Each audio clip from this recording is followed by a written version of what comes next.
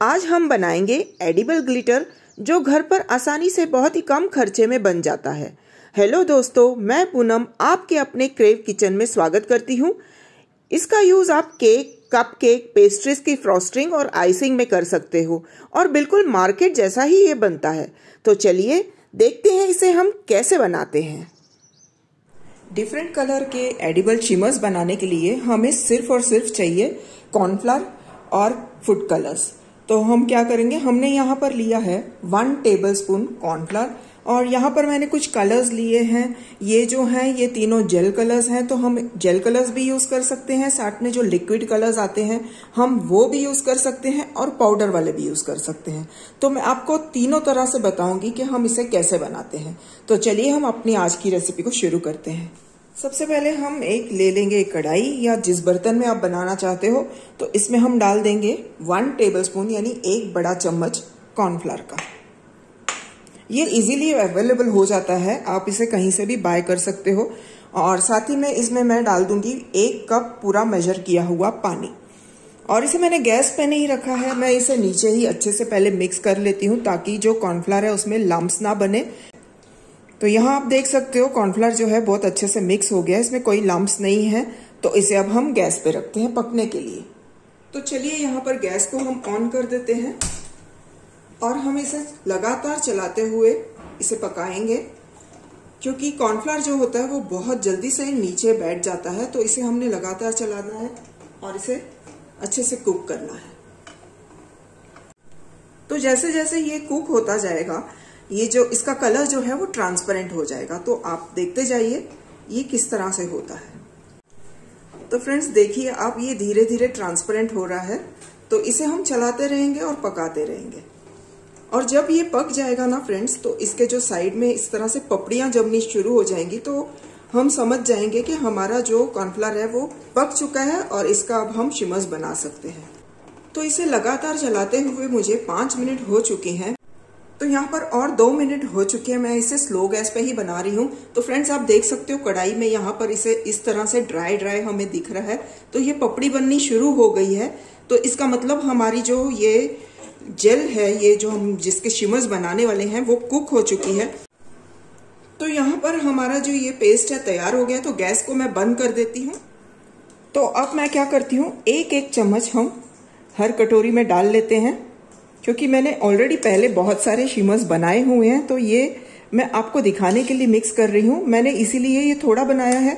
आप जब बनाओगे तो थोड़ा डबल क्वांटिटी में बना के रख सकते हो। तो इक्वली हमने डिवाइड कर लिया है जेल को। तो चलिए अब हम सभी में कलर ऐड कर लेते हैं। तो सबसे पहले मैं रेड वाला कलर डालती हूँ इसमें। एक कटोरी में हम डालेंगे ब्लैक कलर तो यहाँ हमने एक ड्रॉप ब्लैक कलर का डाल दिया है। साथ ही में अब हम इसमें दूसरे में डालते हैं येलो कलर यह हमने येलो कलर भी डाल दिया है। अब हम एक में डाल देंगे ब्लू कलर तो ये जो कलर है मेरा, मेरे पास जो लिक्विड वाला ब्लू कलर है वो है। तो हम ये ही इसमें डाल देते हैं। तो ये हम इसमें ब्लू कलर मैंने डाल दिया। साथ ही में एक में हम डालने वाले हैं पाउडर कलर ये देखिए फ्रेंड्स मैंने थोड़ा सा पाउडर कलर लिया है और मैं ये इस वाले में डाल देती हूँ और इसे हम गरम गरम में ही हमने इसे मिक्स करना है। ठंडा होने के बाद ये जो कलर है, ये मिक्स नहीं होगा। तो इसलिए जब आप पाउडर कलर यूज़ करोगे तो आपको उसे थोड़ा अच्छे से मिक्स भी करना है और ध्यान देना है कि जेल जो है, हमने जो बनाई है, वो बिल्कुल गर्म होनी चाहिए। तो ये देखिए फ्रेंड्स ज़रूरी नहीं है कि आप महँगे वाले जेल कलर्स लाओ और यूज़ करो। आप इससे भी बना सकते हो। तो ये हो गया है मिक्स हमारा। तो अब हम ब्लू को मिक्स कर लेते हैं, जिसमें हमने लिक्विड कलर डाला है। तो ये देखिए, यहाँ ब्लू को भी हमने मिक्स कर लिया है। फाइनली हमारा रह गया है येलो कलर तो उसे भी हम मिक्स कर लेते हैं। और ये देखिए, यहाँ पर येलो कलर भी मिक्स हो गया है। तो जैसे कि मैंने आपको बताया, मैंने यहाँ पर बहुत थोड़े थोड़े बनाए हैं कलर्स आप जब बनाओगे, आपको अगर ज़्यादा क्वांटिटी में बनाना है तो आप क्वांटिटी अपनी जो कॉर्नफ्लोर की क्वांटिटी है, उसे बढ़ाइए, साथ में पानी की भी। तो अब इसे हम किसके ऊपर सेट करेंगे? आपके पास अगर कोई मोटा वाला प्लास्टिक है, या कोई शीट है ऐसे जो थोड़ी सी थिक हो और थोड़ी सी स्टिफ हो तो उसके ऊपर आप कर सकते हो, या फिर इस तरह की शीट्स मार्केट में इजीली अवेलेबल हो जाती है। इसे ओ शीट्स बोलते हैं और स्टेशनरी शॉप में ये इजीली मिल जाती है। तो आज हम इसके ऊपर सेट करेंगे अपने शिमर्स को। तो चलिए देखते हैं इसे हम कैसे स्प्रेड करते हैं। तो यहाँ पर बोर्ड में मैंने शीट रख दी है और मैं इसके ऊपर स्प्रेड कर लूँगी सबसे पहले रेड वाला कलर तो बस सिंपली हमने इसे पतले लेयर में फैला देना है। ज़्यादा थिक नहीं रखना है ताकि ये जल्दी से सूख जाए, हम इसे जितना पतला लेयर करेंगे, ये जल्दी से ड्राई हो जाएगा। तो रेड वाले को हमने फैला दिया है तो इसी के ऊपर अब मैं येलो वाले को भी हाफ़ पोर्शन पे येलो लगा देती हूँ। क्योंकि यहाँ पर आज हमारे बहुत थोड़ी सी ये जेल बनाई है मैंने तो अच्छे से स्प्रेड कर लेते हैं। तो यहाँ आप देख सकते हो, हमने एक ही शीट पे दोनों को इस तरह से लगा के फैला दिया है। और अब इसे हम सूखने के लिए रखेंगे। फ़ैन के नीचे ये आराम से सूख जाता है और इसे सूखने के लिए कम से कम पाँच से छह घंटे लगते हैं। तो चलिए इसे रख देते हैं और दूसरी शीट पे अब हम बाकी के जेल लगाते हैं। तो यहाँ पर मैं एक दूसरी शीट ले लेती हूँ और इसके ऊपर हम लगाएँगे ग्रीन जेल। ग्रीन कलर को हमने फैला दिया। अब हमारा ब्लू जो है, उसे भी हम इसी तरह से फैला देते हैं। आजकल शिमर केक बहुत ज़्यादा चल रहे हैं। ट्रेंड में है तो आप भी इसे बनाइए और अपने घर में बना के केक को डेकोरेट कीजिए। या आप कभी कप केक्स बनाते हो तो उसे भी आप इसके साथ डेकोरेट कर सकते हो।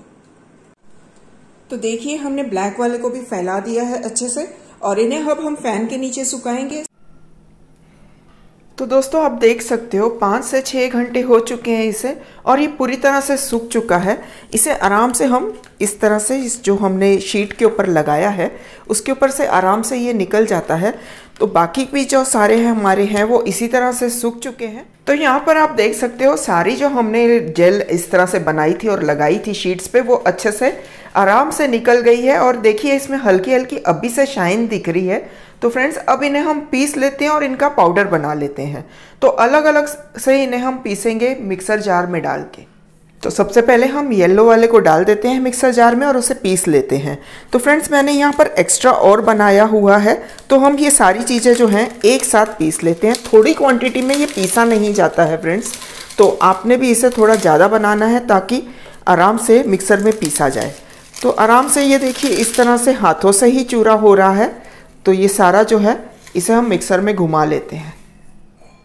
तो फ्रेंड्स यहाँ हमने येलो वाला जो बनाया था ग्लिटर उसे हमने पीस लिया है और आप देख सकते हो इसमें शाइन अभी से दिख रही है।